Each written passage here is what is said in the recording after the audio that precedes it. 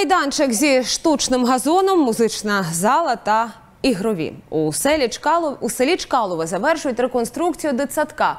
Його звели ще у 90-х. Три десятиліття заклад пустував, дати йому друге життя взялись цього року. У будівлі вже замінили вікна, утеплили фасад та уклали підлогу. Зараз підрядники фарбують стіни всередині.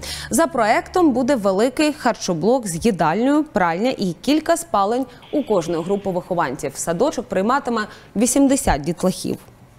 Це в нас таке велике село, і тут стоїть черга в дитячий садок в даний час. І вже десь до десятка років постійно черга. Надія на новий дитячий садок, що дітки підуть у ясільну групку.